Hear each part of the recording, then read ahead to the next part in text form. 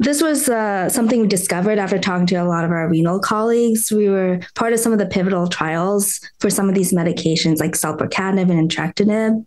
We noticed that a lot of patients' creatinine would increase when they would start the medication. They would have holds and a lot of workup sent, and nothing was found. And we realized it's because these medications affect these transporters in the kidney which can cause a false elevation in the creatinine while their true renal function isn't changed. And so we wanted to look at all different TKIs and see if there were this was more widespread. And we found many of the TKIs that we commonly use in lung cancer do affect these transporters and cause these false elevations. In terms of what does that mean and what we can do, Creatinine is is a marker that's commonly used, but it's imperfect.